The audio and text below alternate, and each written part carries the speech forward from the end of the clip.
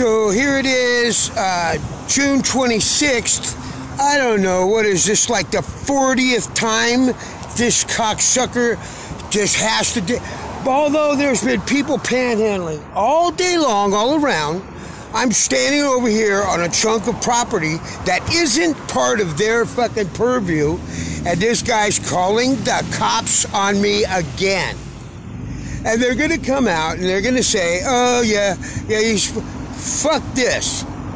I'm gonna sue that, that guy and that company because I don't need this shit.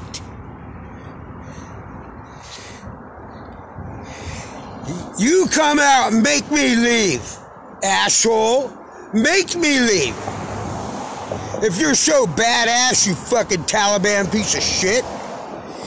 I'm sick of it. I'm sick of this guy who I don't even know if he's got a green card. Uh, he fucking can't even barely speak English, and he's gonna hassle me about where I stand in America? Fuck that. I'm tired of white men feeling guilty about shit they got nothing to do with. It's gonna fucking end today.